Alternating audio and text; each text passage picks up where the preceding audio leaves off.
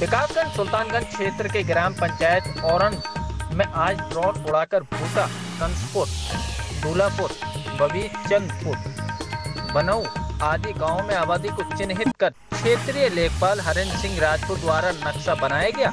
वही साथ ही सरकार द्वारा इस सर्वेक्षण का मुख्य उद्देश्य लोगों को जिस तरह से खेत की खतौनी प्रदान की जाती थी, ठीक उसी तरह से लोगों को घरों की घरौनी प्रदान की जाएगी। ऐसा लेखपाल ने लोगों को बताया। इस मौके पर देवेंद्र सिंह वीरेश जयदेव धर्मेंद्र राजपूत प्रमोद बंटू राजपूत इंजीनियर तिवारी लाल चित्तौड़ी नवाब सिंह मनीराम राजपूत डॉक्टर देवेंद्र सिंह आदि लोग मौजूद रहे। ब्लॉक सुल्तानगंज मैनपुरी से ब्रजेश कुमार की रिपोर्ट। ज़्यादा जानते हो बोल दो। हाँ सर ये जो ड्रोन उड़ रहा है इसकी क्या खूबियाँ हैं?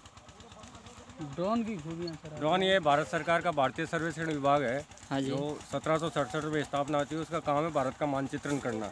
तो ये अभी जो भारत सरकार की स्वामित्व योजना है जैसे ग्रामीण ये गाँव में जो भी ज़मीन है गाँव की आबादी भूमि का है बा- दूर दूर दूर थोड़ा गाँव की आबादी भूमि पुरानी जो आबादी है उनके वो पुरानी आबादी का सर्वे किया जा रहा है उसका सीमांकन होगा और पुरानी आबादी के तहत अंदर जो मकान बने हैं उनका नक्शा उनका रकबा बन के आएगा और प्रत्येक व्यक्ति को जिनका पुरानी आबादी के अंदर मकान बना है उसका स्वामित्व प्रदान किया जाएगा। जैसे कि खेत का अभी तक जो खतौनी प्रदान की जाती थी उसी प्रकार से जो आबादी में मकान बने हुए हैं आ, उसकी घरौनी उसको प्रदान की जाएगी ताकि इससे जो आबादी से संबंधित जो विवाद थे सिविल न्यायालय में वो कुछ कम होंगे और व्यक्ति जो है इसका प्रयोग संपत्ति के रूप में कर पाएगा।